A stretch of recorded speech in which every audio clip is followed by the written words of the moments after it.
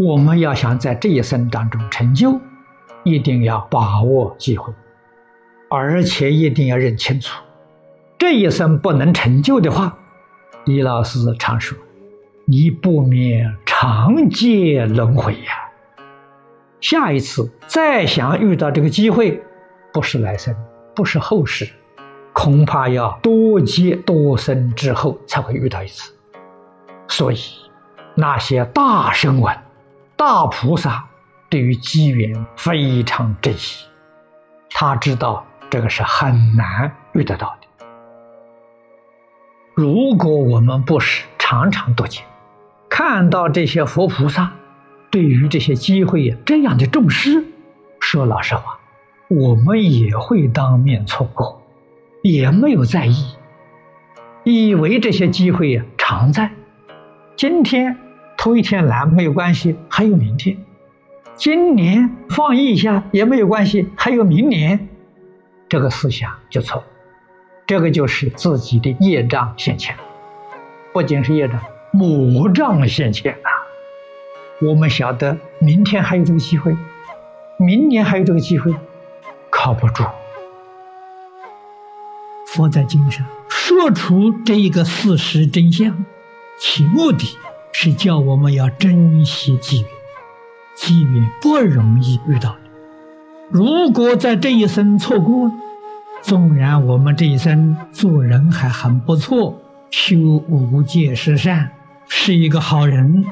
我们常讲存好心、说好话、做好事，你是个好人，来生能得人生。得人生之后，是不是再能闻到佛法呢？靠不住。这一次不能往生，下一次再要遇到这个机会，就不知道要隔多少生多少世。你不要梦想我来生还能遇到。来生说实在的话，你能得人生吗？能不能有把握来生还得人生？这是一个很大问题。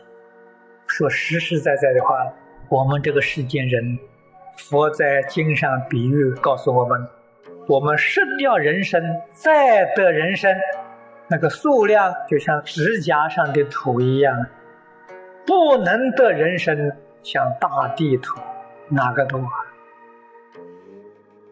我们今天非常幸运，能够听到如此究竟圆满的佛法。确实像古人所讲的“无量劫来稀有难逢之一日”，太可贵了。假如这一生不能够把握住，让它空过了，你想想看，那多可惜！一转世再遇到，就很不容易。相当困难。不修行的人一转世堕三恶道，以后闻法的机缘就少了。修行的很好的人一转世享人天福报去了，这一想就想糊涂了，遇到佛法也排斥了。现在世间富贵人不念佛的，那个富贵人前生认真修，修得很好的，福享完了又堕落了。你才晓得这个机会是很不容易遇到的，难知能知，难见能见，这是大幸。世间哪一桩事情幸运呢？没有比这个事情更幸运的。你要说为什么？你遇到佛法，你就有了生死、处三界、往生不退成佛的机会。你有了这个机会。这个机会多难得，这个机会多么可贵！佛说这个话用意在此。我们今天遇到佛法，而且遇到佛说最真实的佛法，如果我们不信、不解、不认真的去修行，当面错过，那是真正的可惜。你不能完成一生的念佛修行。只是跟西方极乐世界结了一次善缘，这一生不能结果。诸位要知道，不结果麻烦很大。不结果，我们这一生当中一定是随业流转，强者先迁，就又要去搞六道轮回。这一搞六道轮回，到哪一生哪一世再遇到这个法门，很不容易。所以得人生遇佛法好难呐！这佛在经上讲的很多，真正不容易啊。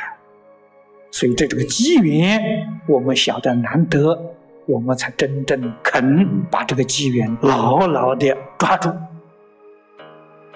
如果你有这种警觉心，你了解这个事实真相，你会把这次的机会抓紧的，绝对不放松。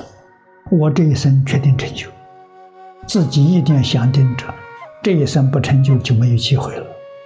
机会不是真的没有，后头还有，不晓得到哪一生哪一劫，你在轮回三途不晓得受多少苦难，这是事实真相。印光大师教我们常常把死字贴在额头上，作为警惕。我在这个世间存活就这一天，我就要死了，还有什么好想的？只想阿弥陀佛了，这叫真念佛了。我还有明天，我还有明年，这个念佛是假念佛。为什么？你的生死心不切，你念佛没有感应。如果想到我明天就要死了，我的时间只有这几个小时，分分秒秒都会把它把握住。不再有其他的念头加进来，这个人叫真念佛，这个方法好啊。